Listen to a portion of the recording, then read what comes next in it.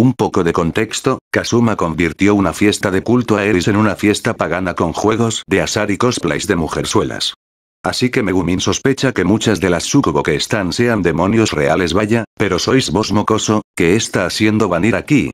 Si te preguntas qué hago acá, con las ventas diarias decidí abrir una tienda en este lugar. No me acuerdo por qué, pero Yun Yun termina trabajando en esa tienda, sin poder vender nada y tuvo que cerrarla más tarde en el concurso de disfraces o mira eso, maldición Kazuma, porque no hiciste que solo sea competencias de traje de baño, no te pedí tu opinión, yo también tenía varias cosas con las que lidiar, que desprecio.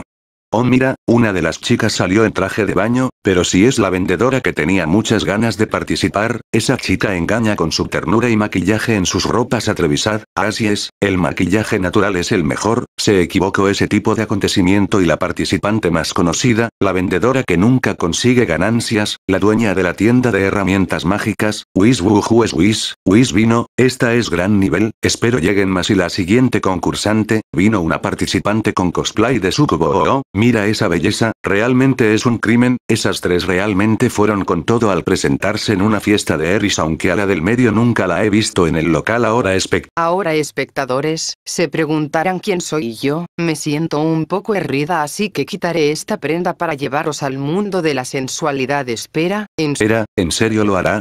Trae una cámara, rápido. Maldición, porque no traje una conmigo.